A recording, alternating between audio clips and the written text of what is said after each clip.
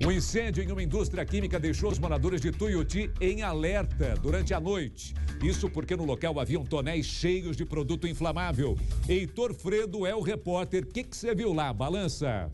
Alguns desses tonéis estavam carregados com litros de álcool. Essa foi a primeira preocupação do Corpo de Bombeiros ao chegar na indústria química instalada na estrada que liga Tuiuti a Morungaba.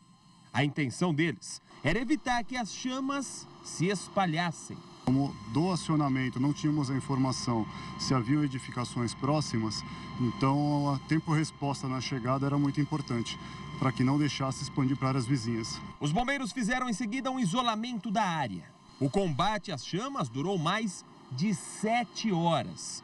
Uma retroescavadeira foi usada para encontrar pequenos focos que, em contato com o álcool, alimentavam novamente as chamas. O fogo começou no barracão interno da empresa e a estrutura foi totalmente destruída. Essa parte externa, como o muro de proteção, também vai ter que ser demolido, porque, de acordo com o Corpo de Bombeiros, essa estrutura está completamente comprometida.